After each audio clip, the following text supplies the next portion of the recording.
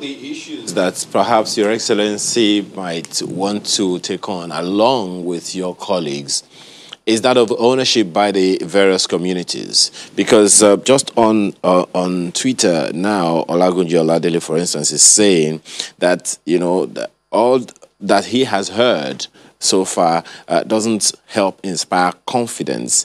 Uh, so now, perhaps that also begs the question of how is this Ebube Agu being communicated to the people in a way that they can take ownership of it? Because as you know, nature abhors vacuum.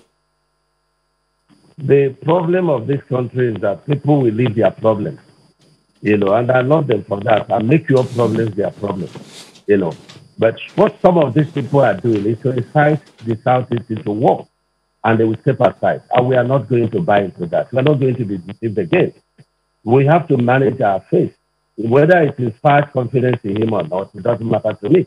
What matters to me is that our people will be satisfied with our efforts in protecting their lives and property. Mm. You know, our people must be very careful, you know, and know that there are grand plans of people who have no interest in Southeast to incite them into war. And we are wiser than that. We will not buy into that. Now, the killings, the attacks that occurred in your state, for instance, I know you have spoken strongly about it, uh, and you did say when the vice president visited that uh, solution needed to be found. But not long after that, there was another attack in some other areas. Could you give us an update? What is the current situation now?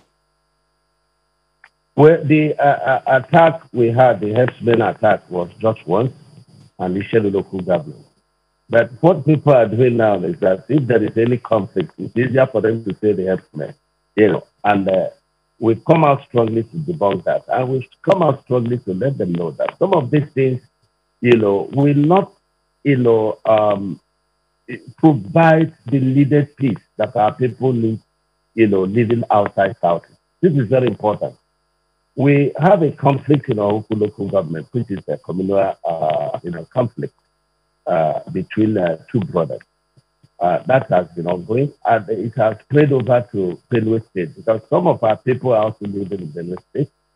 And um, just a few days ago, uh, the long age, you know, land dispute between the, uh, the, the local government, Agila, in, uh, um, you know, in Benue State, uh, they came and attacked our people. And uh, a number of people were uh, killed and houses burned, you know, along the border. And it was very easy for people to jump to their Twitters and say that the headsmen came and attacked us.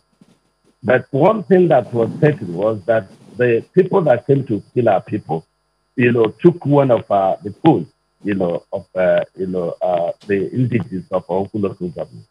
And when we called on the phone, uh, the the voice there was definitely not of uh, man's uh, voice. And uh, the man was saying that, um, you know, the owner of this phone has been killed and that they're going to do more killing as far as, uh, you know, we don't leave that land for them. So but it has already gone, uh, you know, bad. And I think even a channel reported as such. I hope it's been, it's been corrected. So these are the, some of the conflicts we have, you know, and it's been there for a very long time. I think the conflict in uh, that of Huku uh, axis has been there for over, uh, you know, 50 to 100 years.